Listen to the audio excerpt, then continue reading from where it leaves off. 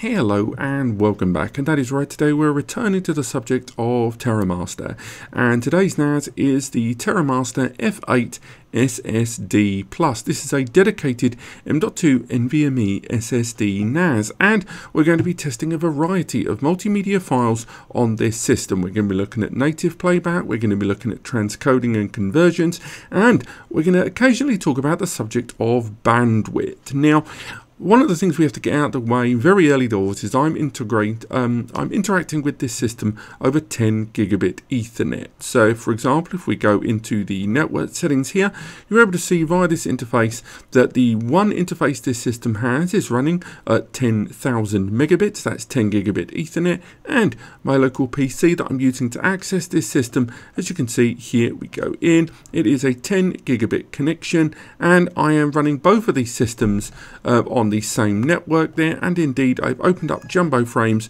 for those that understand what I'm talking about to 9000 on both of these systems. Here it is on the local PC advanced here there's our jumbo packets at 9000 and when we go into the TerraMaster NAS you're able to see MTU or jumbo frames at 9000. Now what does that mean? That means that both of these I have opened up a thousand megabytes per second performance or a gigabyte and I've opened things up to the best data packet exchange, almost a synthetic level. So there shouldn't really be any network problems. Now why do I bring that up? Well because one of the things I've learned even with my initial testing of this system and this is taking advantage of transcoding at made by CPU Hurt and taking advantage of the full integrated graphics of the N305 processor inside this system is that it still manages to do a, mm, would say, not great job of managing the bandwidth. For example, if we go into my files here, now this file I'm about to play, by the way, do not be fooled into thinking this is some domestic class file. This is huge. This is a 1.4 gigabyte 30 second file. Now if I click play here, we bring it up there at the bottom, we've got the original file trying to be played and you can see here in the web browser it's not playing. There on the bottom right you can see that we are hitting 1 gigabit per second. We're not hitting 10 gigabit but we're still hitting a gigabit. And again we can talk about the conversions there of megabits, megabytes, gigabits, gigabytes, etc. later on. But ultimately, as you can see, the CPU isn't even taking a run up at it when it's trying to play the original quality. And the bottom left, you can see that dark orange there, which is the buffering, not exceeding 7 or 8 seconds, generally considered to be the fail point. Now, why do I bring that up? Well, so if we go into a client app like this one, this is the Windows client application rather than the browser, which has a tendency to truncate, even though Plex right now is only using 131 megabytes. If we go in and play that same file, so again, we go into our 4K test files, we go ahead, bring it all the way down to the bottom, and go for our heftiest, densest, bigger, better file, play that one there, open it up in original, and it plays like an absolute charm. Now, the big takeaway I want you to have right now, this early point in the video, is number one, this NAS can play absolutely everything I'm going to throw at it in terms of taken advantage of dedicated clients. As you can see, it's played the file, the buffering's fine. And if we look at the performance numbers here on the right, you can see bandwidth consumption there, not too bad.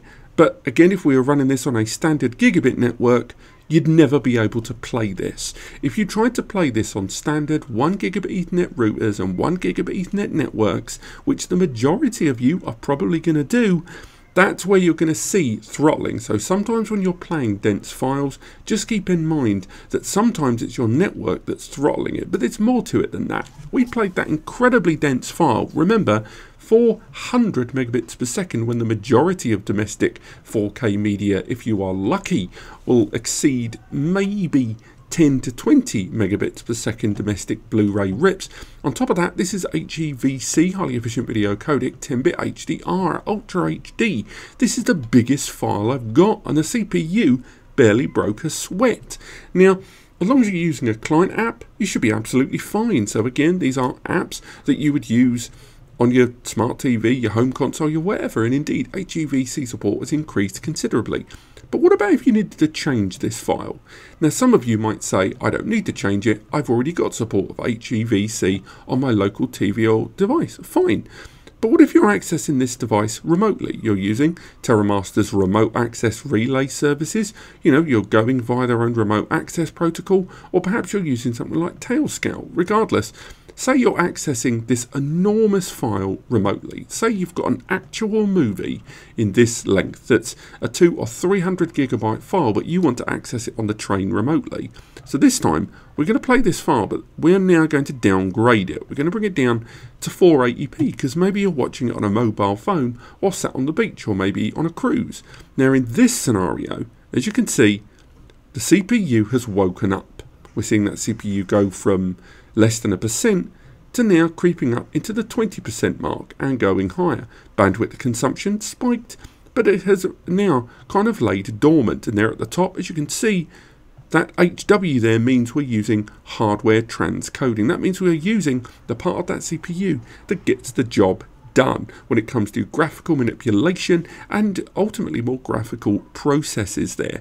Now, we're going to scale things back in terms of files just a wee bit. But if we go back to the web browser, and again, we play this same incredibly huge file that's not really representative of normal files, and scale it down to an automatic conversion, where it will bring this file down, the system is still going to hit difficulties there.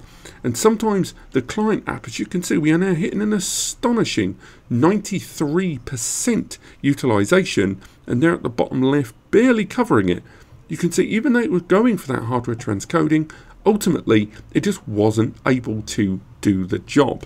So sometimes when you are testing these uh, devices, or at least playing back your multimedia, always keep in mind that you are going to have to be a little bit reliant on the client device you choose to play out of. But let's return to some of the more traditional testing. If we go for this file here, we're not going to do an E1080p, I don't think, because we know this system can handle it. Let's go for Roast Duck. This is an HEVC file of a significantly lower bitrate than the one we've just looked at, but it is HEVC and we're now playing it in the web browser just to see how the system handles it. As you can see, we're using hardware transcoding there.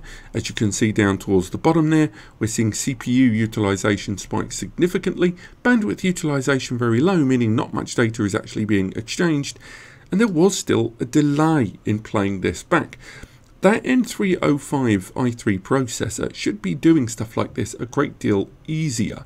Now again, to give it the benefit of the doubt, if we play this exact file here using the client tool, which let's be realistic, most of you are going to do, and we play this same file natively with no transcoding, boom, it plays back immediately. Very few of you are going to be using the web browser to access your Plex Media server. You're going to be using mobile phones, you're going to be using other devices. But just keep in mind that once you start integrating and utilizing remote access protocol, chances are you're going to start needing the system to start playing with those files a little bit. And that's where that efficiency is going to play its part. So let's play that file again, and this time transcode it down to a shocking 160p file there. That is horrendous. It's going to be like 4 pixels sneezed on the screen, as you can see there. On the right hand side, CPU is going up, but the key point is playback is happening. RAM utilization is low, CPU utilization is still reasonable, and I would say this is still a success for quite a large file and a rather efficient CPU for that matter. And remember, all the time, as you can see, CPU usage is being um, increasing, is increasing throughout these tests, and the system is notifying us of that. Now, while it's doing all this, the other thing we should probably think about is temperatures. Right now, the NVMEs are hitting, you know, high temperatures in the 50s or 60s. These aren't big numbers for M.2 NVMEs. That won't really throttle until you hit around 70 to 80 degrees, but still, we are seeing those temperatures rise. Now, if we come out of that, minimize there, go back into Plex, we'll look at another dense file. We go into the 4K section, and this time we're going to take advantage of uh, a rather dense file. Let's go for there at the top. We'll go for Caves of Wonder. Now, Caves of Wonder is an H.264 file, so no conversions are needed, no licensing problems. And as you can see, the file's playing immediately. It's playing like an absolute charm, no problems whatsoever. Bandwidth utilization playing natively, absolutely fine. Again, we'll bring it down to a rather awkward 328p. Bring that forward. It's still playing there. Bandwidth utilization spike. Again, because we're playing it back. CPU utilization there. Starting at 20%. Let's see, is it going to go any higher? Seems to be fine for the moment. It's sitting around 20%. Things are seemingly fine there. And for those of you that are wondering about the recording machine that's doing all the work today, this is uh, not really testing this machine too much and we've got an onboard GPU as well and we're using OBS to do these recordings here via a virtual machine hence the activate Windows part absolutely fine playback there. We're using the app and indeed we're seeing some throttling there when utilizing some of the web browser stuff. So again keep that in mind.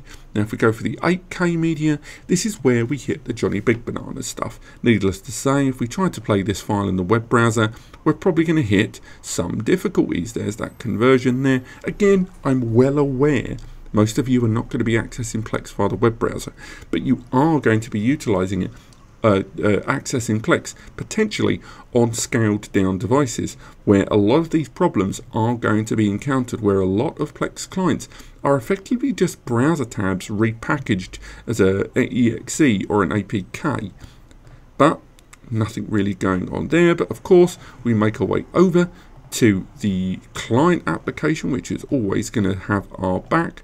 Go into the library there and play the file. This is an 8k file being streamed from the NAS and playback fine. We are streaming 8K Plex off of this NAS. And crucially, if you are accessing this system via multiple users at once, I'll tell you right now, you're not going to have problems. If this system can output 8K in original format on Plex, with the CPU barely breaking a sweat, and bandwidth consumption, remember, being 10 gigabit, and we're only hitting that 1 gig on this one file, as long as you utilize a 2.5G or 10 gig network, you're going to be able to stream multiple big dense files like this one. And once you introduce transcoding, so if we bring that down to 480p, imagine we're watching this perhaps on a mobile phone, then we see uh, systems start to react. We're seeing that CPU start to go up. We are moving an 8K file into 480p. That's like a file that's recorded in 2024 being played in 2004 but it's still able to do the job. We're seeing slight blur, of course, but it's playing the file with a slight delay there.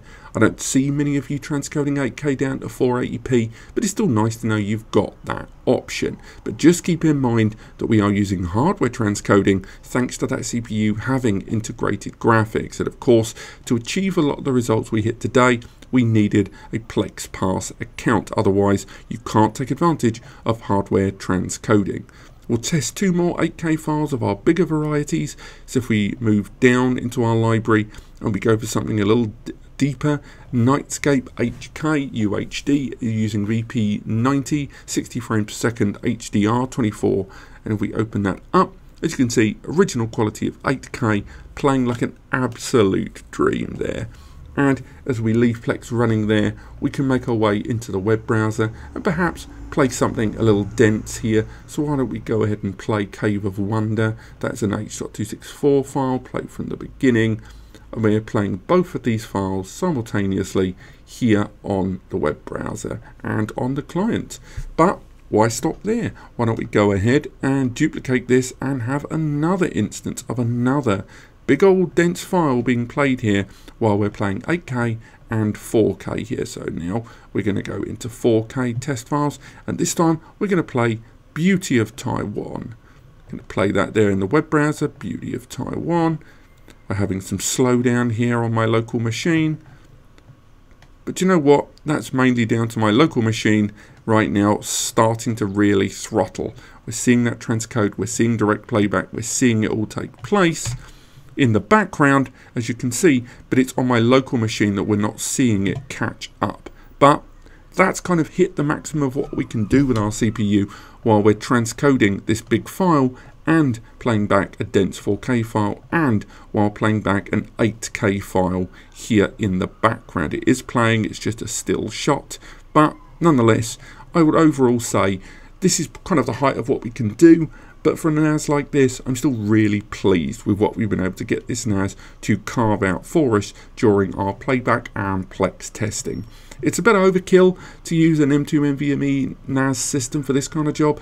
It's probably okay to use something like the TerraMaster F4424 Pro. You'll save yourself uh, approximately 300, maybe even $400 depending on where you are in the world. And if you do that, you can take advantage of a combination of hard drives and SSDs, but that doesn't rob or detract from the fact that this system at peak is still able to do some phenomenal playback here in the background. I hope you've enjoyed this video. There should be a link in the description to the full review of the F8 SSD Plus. I recommend you check that out. And of course, there are links in the description to get hold of this NAS for yourself. And if you use those links and you were going to go to those shops anyway and you found this video helpful, make sure all of those things are true. Please use those links as it will result in a small commission coming back to me and Eddie here at NAS Compares. It's just us and it allows us to keep doing what we do. Have yourselves a fantastic week.